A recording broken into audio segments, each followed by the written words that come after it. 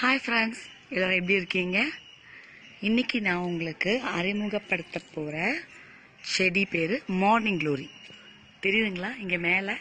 இங்கே பாருங்கள் நான் ஜூம் பண்ணி காட்டுறேன். பார்த்தீங்களா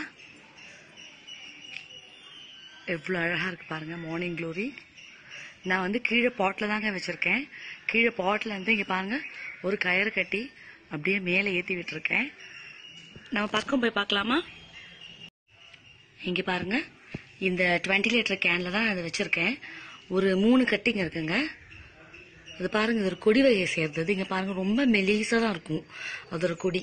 ஒரு குச்சி வச்சு கட்டி அப்புறம் மேலே கயிறு வச்சு கட்டி மேலே ஏற்றி விட்டுருக்கேங்க. நம்ம மேலே போகலாம் வாங்க. இது ரொம்ப அழகா இருக்குங்க. பால்கனிலலாம் நீங்கள் நீங்க வந்து படர்த்தி விட்டீங்கன்னா அப்புறம் இந்த முல்லைப்பூ மாதிரி முல்லைப்பூ எப்படி? இந்த வீட்டு என்ட்ரன்ஸ்ல எல்லாம் வச்சிருப்பாங்க இல்லைங்க.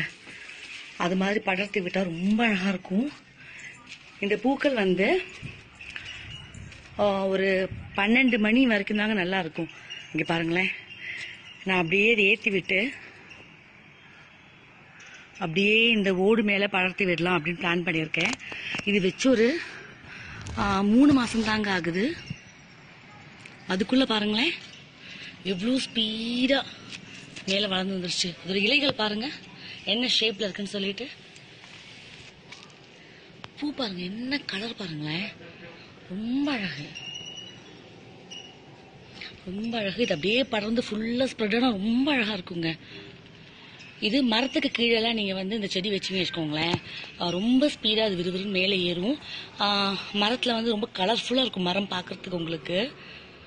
இது வந்து கட்டிங்லேயும் வருதுங்க. சீட்லேயும் வருது. நம்மளுக்கு இன்னும் சீடு வரல. சின்ன செடி தான் பார்த்தீங்களா இன்னும் ஸ்ப்ரெட்டே ஆகலை பாருங்க. மேலே வந்திருக்கு. அதுக்குள்ளேயே நம்மளுக்கு ஒரு அஞ்சு பூ பூத்துச்சு பாருங்க. ரொம்ப அழகாக இருக்குது மார்னிங் க்ளோரி இந்த கட்டிங் கிடச்சா கண்டிப்பாக விடாதீங்க. சரிங்க.